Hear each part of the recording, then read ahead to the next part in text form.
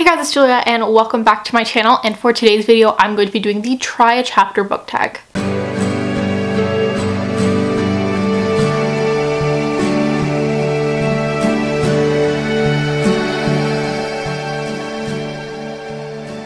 a really popular tag. Wasn't sure if I wanted to do this, but I've been doing this for so long, like before I knew it was a tag, I would read like a few pages or like a chapter of a few books to decide what to read next. Like that's how I always kind of decided. So like this is not new for me, but I thought it's time I would film it. This is going to be arc edition just because I want to get to an arc this month. I need to get to more than one arc this month, but I for sure want to get to one. So I have five arcs here that I'm just going to be reading the first chapter of, a few pages of, something like that, just to decide what to read next and let you guys know my first impressions of them. So first up here we have We Set the Dark on Fire by Taylor K. Magi. That's probably wrong. I heard this is feminist and that's all I know about it. I don't remember exactly what it's about, but I just remember it was really interesting and intriguing and that's why I requested it. Um, I got it from HCC Frenzy, so thank you to them. This came out in February, so yikes.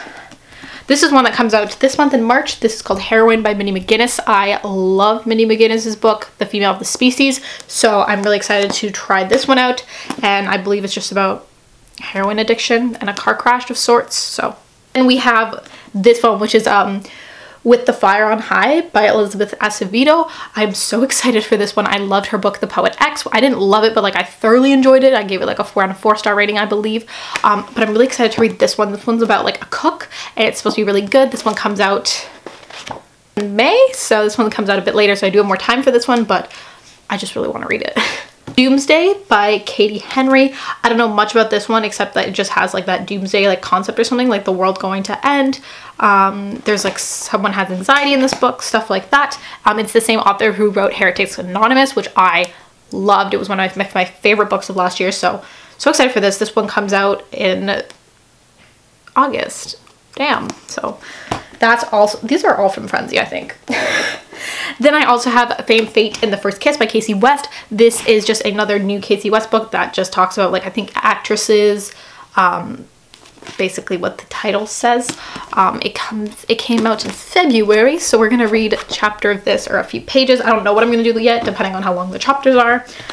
I also kind of just need to decide what arc I'm gonna bring for my trip, so I don't really have time to like read like 50 pages of each right now. So we'll read some and then I'm gonna let you guys know my first impressions. So for the book We Set the Dark on Fire, I read the little prologue thing as well as a maybe five or six pages of the first chapter um, but I did read the prologue thing so I just wanted to talk about it plus I know just by the way that it's like going right now that it's just not something I'm in the mood for at the moment so basically this is about a school the Medio School for Girls this, basically, this is an all-girls school and it's about, we follow this one character. Like the prologue just basically is not even a prologue. It just kind of talks about something that's written in one of the, the textbooks, I believe, of the thing. So it's, yeah, it's in the handbook. It's like the introduction of the handbook that we get. And it's about these gods, the god of salt and the god of sun. And then we like learn about the, like the god of the moon and then um, this daughter of a king and like all this kind of story um, and then it's obviously like I believe one of the characters in the book is the top student but she but her pedigree is a lie. Something about her marriage. While dating gave up everything in pursuit of a free medio and a chance at forbidden love the first book in a sizzling fantasy duology is perfect for fans of The Handmaid's Tale. So that is something I'm just not in the mood for right now. Fantasy is not what I'm in the mood for, but it does sound really cool. And like, if you've read this, let me know your thoughts on it down below. Um, I'm interested to see what like people thought of it. I haven't really looked into too many reviews yet. Now we're gonna read a little bit of With the Fire on High. I just read a bit of With the Fire on High. Um, this one is pretty good so far. Basically, I one really like how it's just formatted. Like it's so nice and it has like all the fruits and the vanilla and like the mint and like part one is called the sour just like I love that. And it starts off with like a little like recipe which is really cool. And then it starts off the first chapter um, about a baby who like in this chapter like day one she doesn't have a name yet so they just call her baby girl. Already mentions things like Moana, Netflix, things like that. Um, and we're probably just going to follow like the child as she's growing up, I assume is what's going to happen. Or it's going to be about like the mom. I'm not really sure.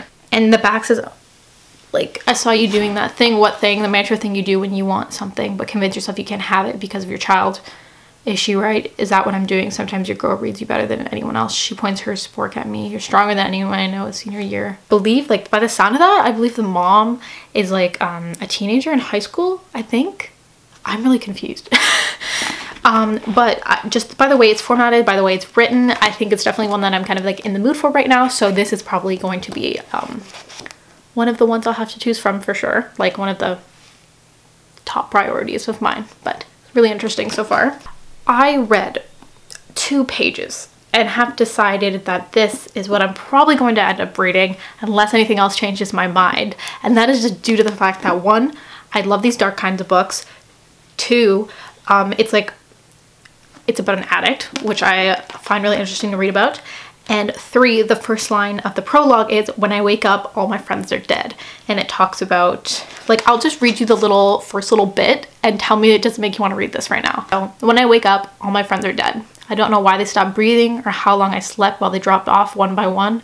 Josie's basement is a windowless place where time does not matter, the lights set low. She sprawls across a couch, lips gone gray underneath the plumping lip gloss she used to cover the fact that she started shredding them with her teeth devouring herself with need when there's no needle in reach.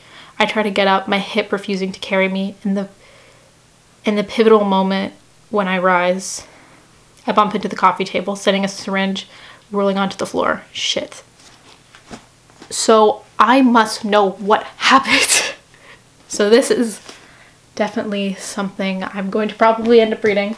I will read a few pages of this and the other one just because I have to, but like I think I'm gonna end up reading um, Heroine and taking that one on my trip, but we'll read a bit of Fame, Fate, and the First Kiss. So I ended up reading a little bit of both of these and just decided that I'm just not in the mood for them right now. So out of the five, we have concluded that this one, Fantasy I'm not in the mood for, with the Fire on the High was probably gonna be the one I picked, but then I read some of Heroine which made me not want to look at the other ones because of how much I liked the beginning of Heroine.